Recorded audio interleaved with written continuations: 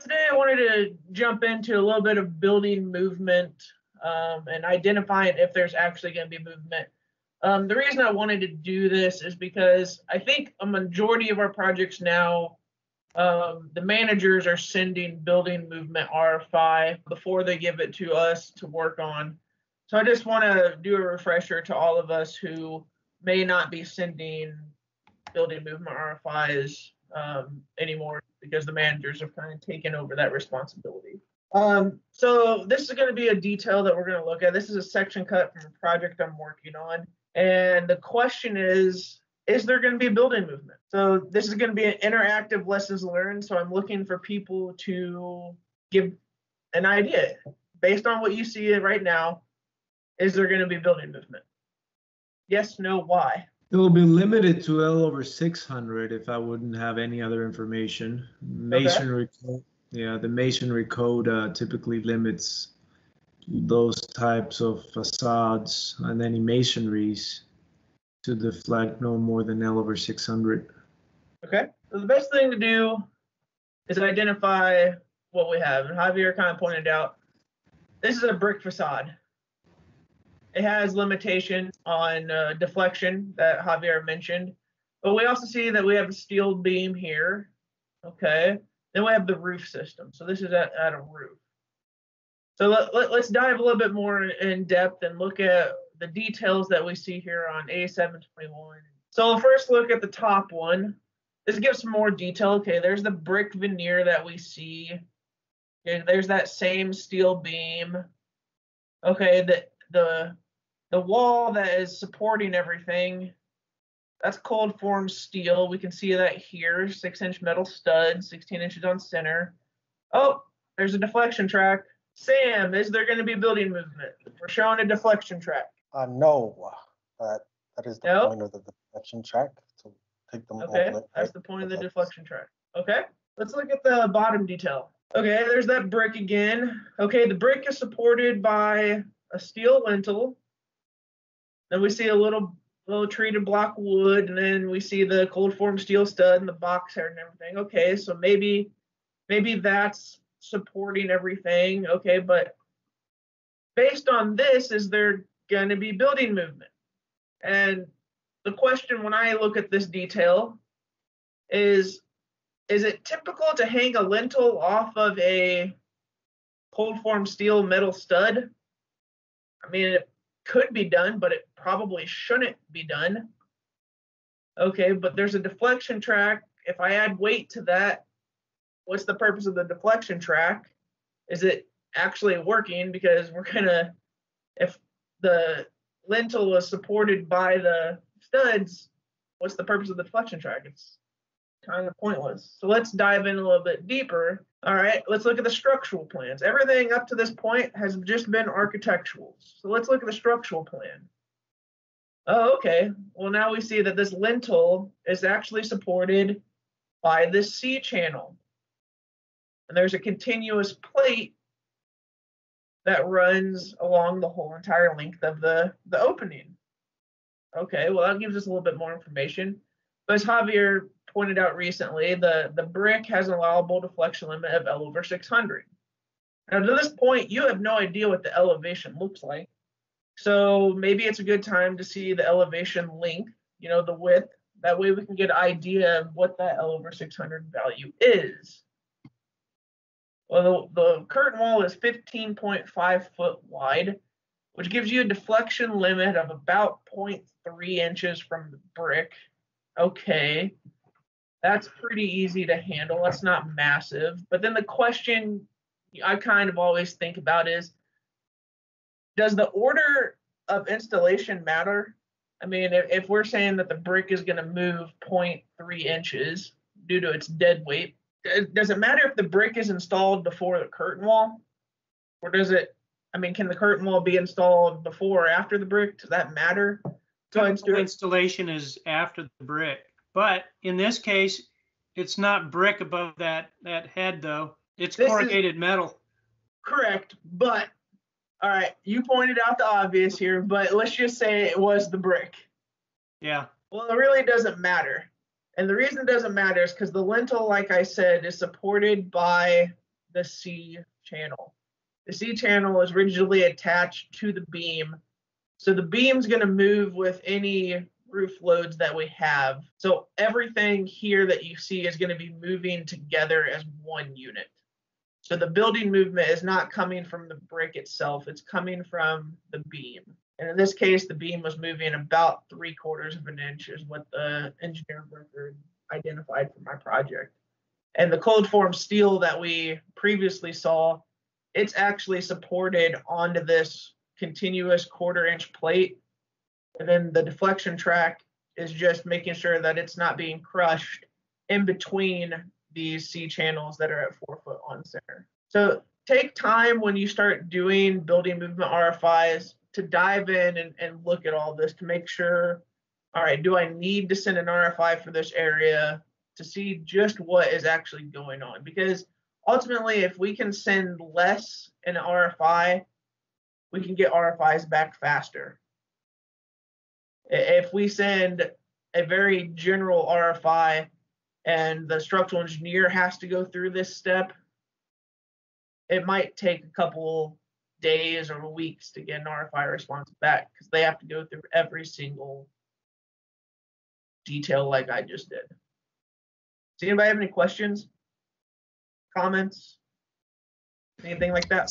So when you say that the deflection of the beam is three quarters of an inch, does that violate the bricks L over 600 design?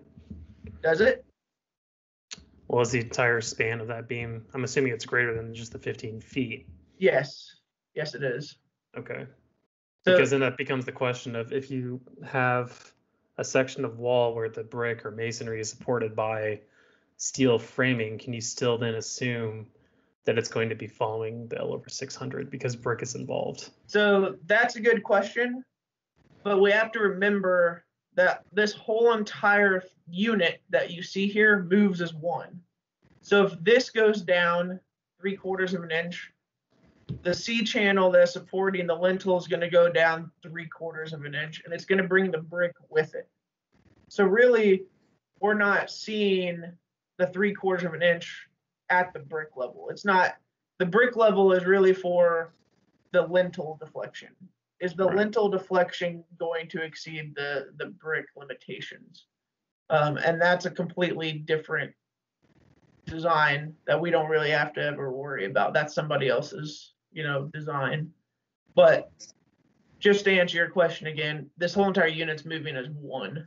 And there's Right. most likely there's going to be a joint in the brick where there's a joint in the curtain. So that whole entire unit is going to be moving as one. I'm, I'm going to respond to that question too a little bit, uh, Ben. That um, uh, typically where you see any brick or masonry supported from a structural detail aspect, the engineer, the structural engineer of record has really done a good job of limiting that beam deflection to L over 600, whatever the span of the beam is. May not be the the opening, but it's the span of the beam that you can be assured that if you run a calculation, a simple calculation of that span of the beam divided by 600, that that's probably exactly the the uh, the limit for the deflection.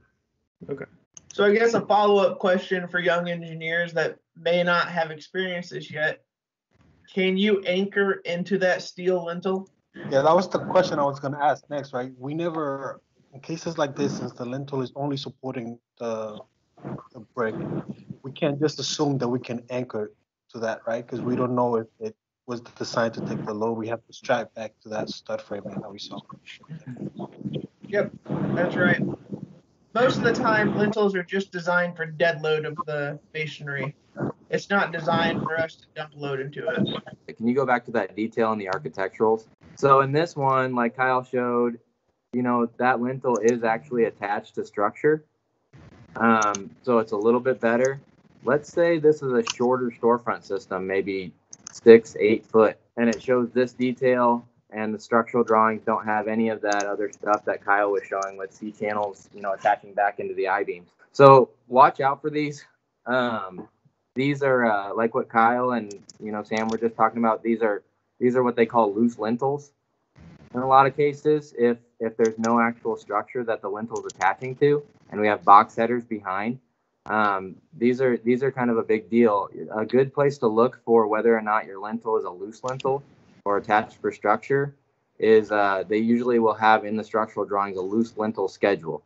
Um, so that's something that I always dive into to make sure, um, because like Kyle was mentioning, these lintels, a lot of cases, when they're loose lintels over certain spans, they will span out and they'll actually rest on the brick on either side of our window, window and they'll support all the brick up above our window just for gravity load. So if we let our client attach into it and it's not designed or strapped back into anything for lateral loads, it could just yank that lintel out. It's not really a side note, but it's somewhat related to anchoring to lintels. I've uh, I've seen a few specifications and actually a few requirements per, per like uh, the state's codes.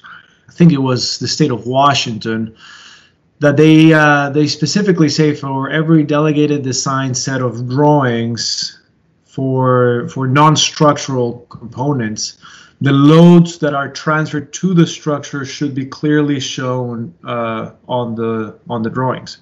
I know we we rarely do that. We we try to uh, and and our, our clients, you know, even if we start showing those loads, which will take a lot of extra time, but it, our clients will probably ne- never even include them on the on the final set of shop drawings.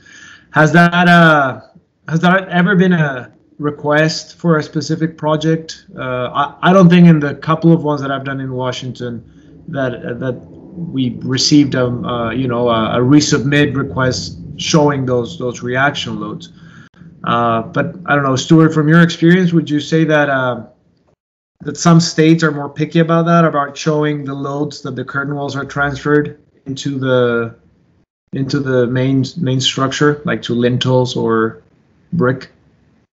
Yeah, no, I, I think that that's a good point that, you know, all the time as a, a structural, a specialty structural engineer, we need to be making sure that there's a good load path. But, you know, answering your question, there really isn't, I, I haven't found that there's a pickiness amongst states or, you know, mostly it's client preference mm. or shop drawing provider preference mm. and what they have a habit and a routine of doing uh, that kind of governs whether or not there's going to be uh, loads involved in you know all of the uh, all of the anchor locations. I think they're they're they're a detailing provider out in the East Coast, and and all the time on their drawings, usually they'll have some type of a requirement for indicating loads uh, associated with elevations. As a follow up, to Gorney, I guess. Can we anchor into that two by blocking that's right there? Is that blocking designed for it? Is that being installed? Um, in a case like this, I'd probably double check and make sure that we can do that. So in this case, I would not, I would not give you a hundred percent yes or no um, either way that we can or cannot install in that. Um, we'd have to do a little bit more digging either that or you know we uh, well number one i think that that's a correct that's an absolutely correct response. And what you've done kyle is that you've gone further into the structural drawings. So that's that's your first thing to do.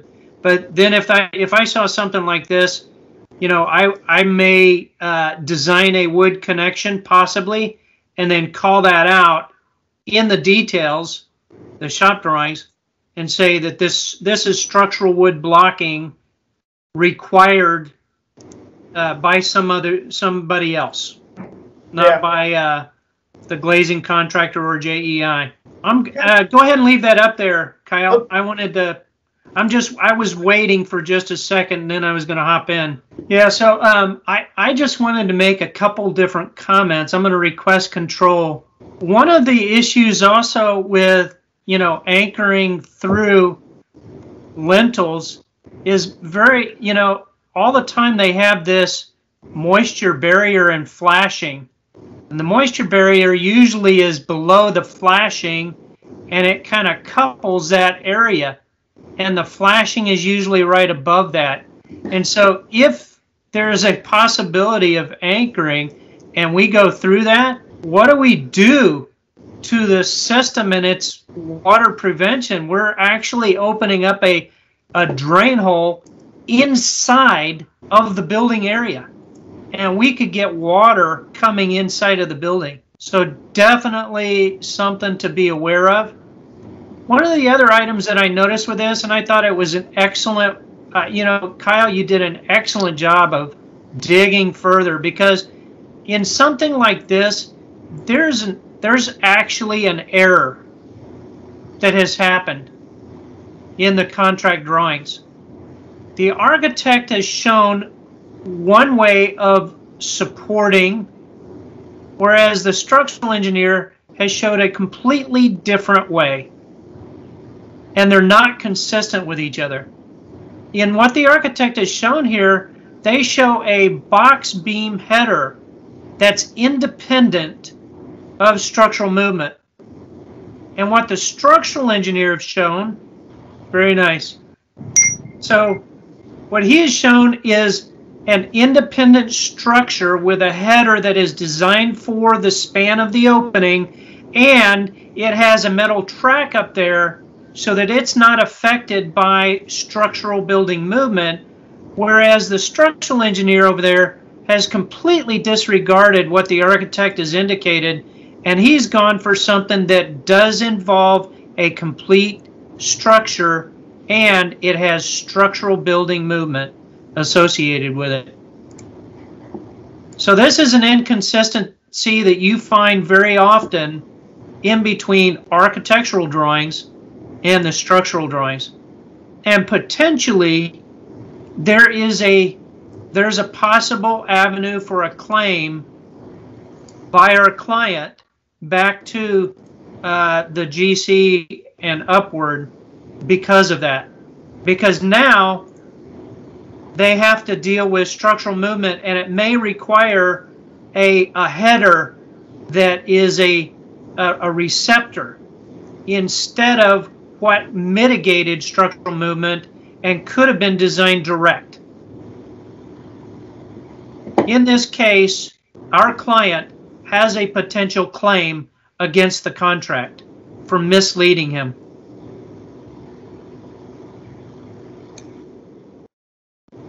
So Stuart, in cases like this, uh, you're implying that we should follow the structural and assume that there will be movement instead of following the architectural uh, drawing. Yes. Yeah, Kyle has done an excellent job of digging a little bit deeper to see the actual structural engineer and what he did. So, Stuart, question for you. To me, it makes sense what is shown in the structurals because, I mean, I don't think that bolting a loose lintel, you know, through the treated blocking into the into the C channels is something that is probably done all that often. They're probably doing that with a weld, I would assume. So, I guess going back to my question of can we anchor to the wood blocking, this brings up will the wood blocking actually be there? Yeah. Yeah, that, that that's a question that I would not ask. there. Yeah. You've, you found a different detail and it doesn't have the wood blocking at all.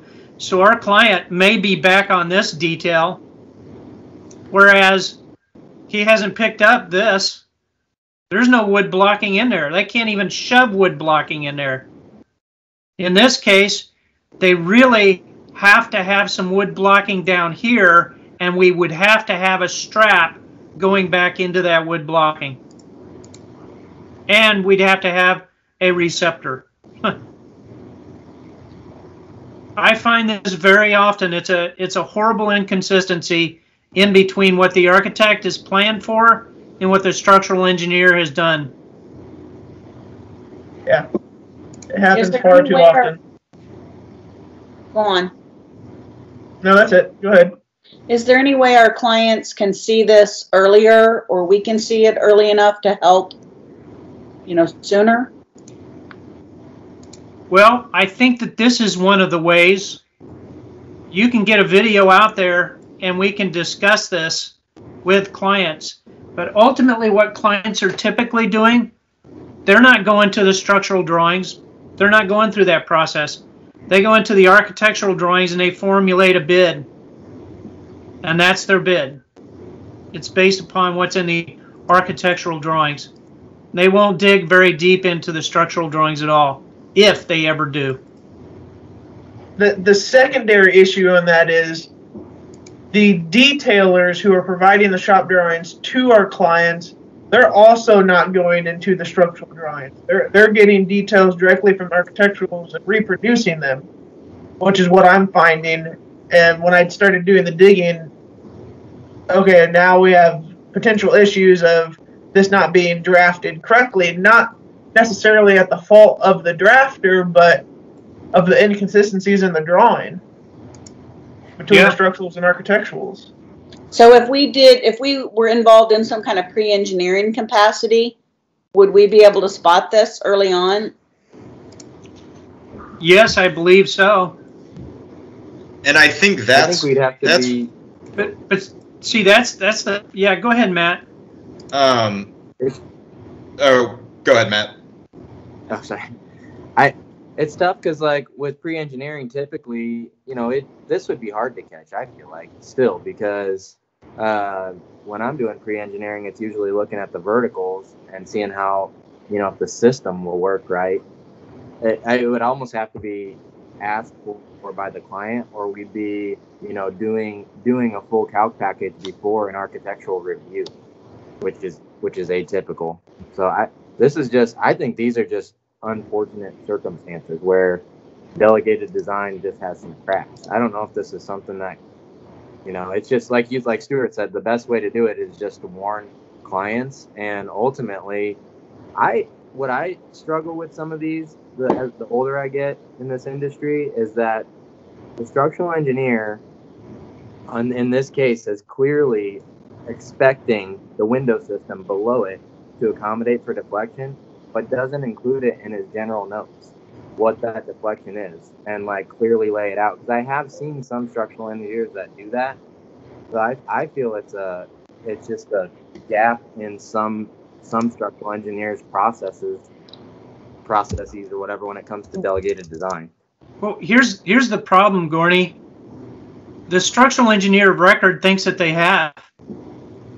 They think that it's pretty clear that L over 360 for live load movement of floors and L over 240 for live load movement limitations for roofs covers their basis. They don't understand that there is a gap between what the systems can tolerate in terms of building live load movement and what their what the limitations are in the building code. There's a gap between there. They don't understand that. Yeah, maybe maybe that uh, information that you're saying, the video, would be better directed at structural engineering firms. Um, I know a job that I'm on with Ben. I was on with the structural engineer, and you know he was an older guy, and he even said what what you're saying, Stuart. He said, "Well, I plugged in L over 360 into the program and told it to size my beams." Um, and then they, you know, they clearly show that it accommodates for deflection. And I explained, well, you're asking for huge, huge sealant joints, and you know, then the structural engineer was kind of interested. He's like, well, what, what's a good limit? What should I start limiting this to in the future? I think Kyle had one like that too, where the engineer was asking questions. Um, so yeah, there's just a weird gap in our industry that we're trying to fill.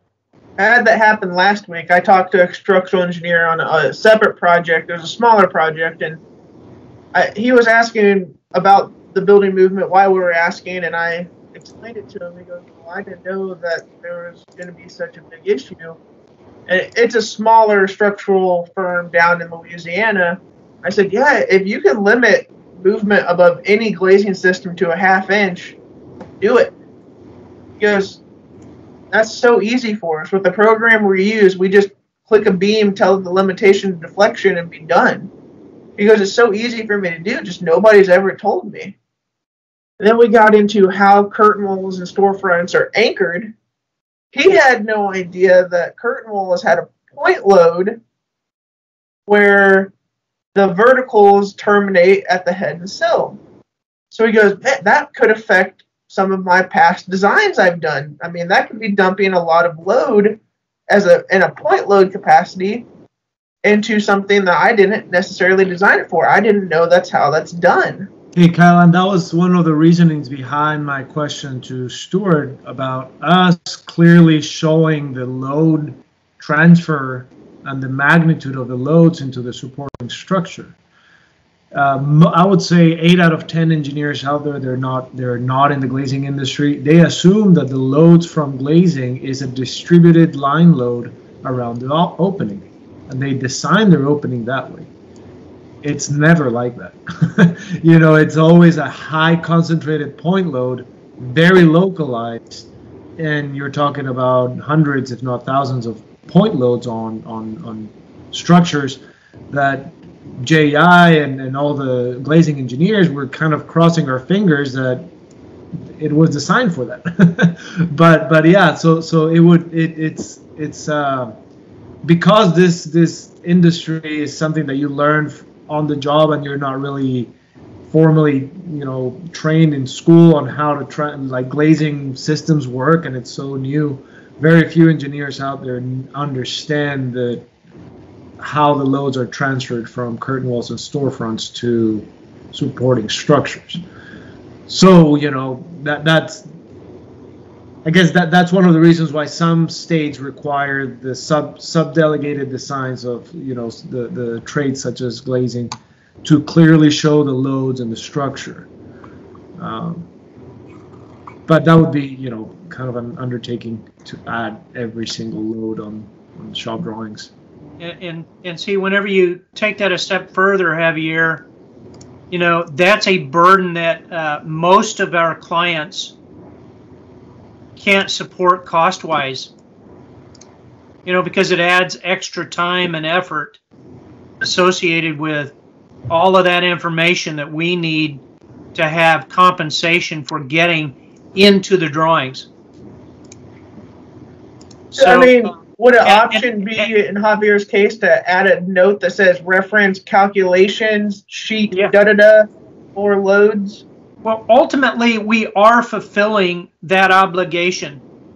We're showing in our connection calculations the way that we're anchoring in and loads. And so, who's supposed to be reviewing that? The structural engineer of record. And so we're we're actually performing that obligation, but it's in a calculation submittal. It's not necessarily in a shop drawing submittal. And again, the burden of understanding how loads are transmitted by various components and cladding into their structure is the structural engineers of records burden. It's their responsibility to be able to understand the limitations and how things are anchored onto the structure. It's not our burden, you know, to to uh, show them and educate them. That's not our burden. Although we want to help out in the industry, and so that's why we do educational, you know, seminars for structural engineers so that they can understand, you know, what are the limitations associated with glazing system design. Hey, Stuart, another another thing when you're referring to that burden, um, I just want want people to be aware that when when we're discussing about going diving into the architecturals and structurals, looking for these slip tracks and these different conditions, um, we we do need to be aware of that, but at the same time, do not do not spend an enormous amount of time doing this um, if we have a larger project, we can eat through so many hours trying to figure out information that the EOR should be able to provide us. Um, so, so again, yeah, there are times where we want to go through some specific details and, and, and try to help our clients out, but we really need to watch that and not get sucked into a black hole um, of okay, we bring this up to the client. Well, then we start talking about all the details and the architecturals and structurals, and then we again burn through all of our hours. Um, so it's a it's a balancing act there.